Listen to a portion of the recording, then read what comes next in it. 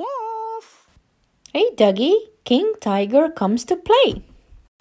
Today, the squirrels are helping Duggee fix his train set. They're almost finished when the clubhouse doorbell rings. There's somebody at the door, says the squirrels. It's King Tiger. How can we help you, Your Majesty? asks Betty. I'm here on official royal business, announces King Tiger. I have come to play. Woof woof, says Duggee. The squirrels can play with King Tiger while Duggee finishes fixing his train set. Yay! cheers the squirrels. Let's play! King Tiger stands in front of the squirrels' toys. He looks a little lost. Hmm, how does one play? We will show you.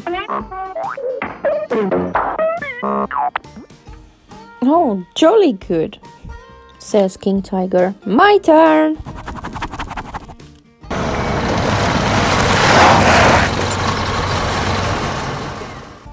But King Tiger doesn't just play with one toy at a time, he plays with every single toy in the whole clubhouse. King Tiger plays with all the building blocks from the toy box, all the toy cars, and all the dolls in the doll's house. He plays with all the paints from the craft cupboard, and all the squirrels' teddy bears and all the cardboard boxes in Duggee's secret stash. Oh, I say, King Tiger is entertained. King Tiger looks around. He can't see anything left to play with in the clubhouse except. Oh dear, King Tiger has spotted Duggee's train set and he's heading straight for it. Duggee is gluing on the last delicate pieces of his train set when King Tiger gets there. This will be perfect for my play palace, says King Tiger. Woof! The squirrels swoop in just in time. Don't worry, Duggee, whispers Norrie. We'll handle this, Your Majesty, calls Betty. Would you like a snack? Splendid idea, says King Tiger. One is somewhat famished. In the kitchen, the squirrels make a snack for King Tiger, but he doesn't just eat his snack. He eats all the snacks on the table, all the fruit from the fruit bowl, all the lunch in the fridge, and all the tins of food in the pantry.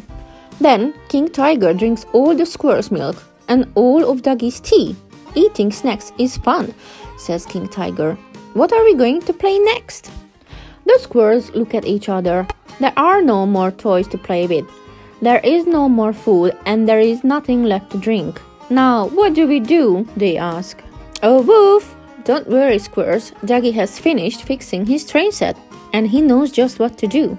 He has his Royal Playtime badge. Woof woof, says Duggee. It's time to play a fabulous new game. Oh, I say, says King Tiger. I love fabulous new things. That sounds enormously fun. To play the new game, King Tiger must lie down on the sofa Ooh, it's like a long throne, says King Tiger, snuggling up. Then the squirrels take turns whispering quietly in his ear. Breathe, calm, cozy, snuggle, sleep. King Tiger joins in. Breathe, calm, cozy, snuggle, sleep. He says, breathe, calm, cozy, snuggle, sleep breathe, calm, cozy, snuggle, sleep. Duggee passes a book to Norrie and she reads the first line quietly. It had been a long day and the little king was very tired.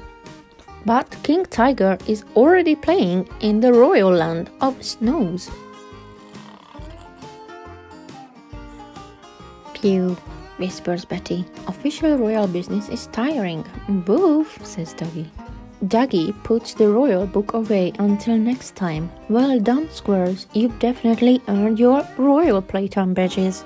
Now, there's just time for one last thing before the squirrels go home. Duggee hug.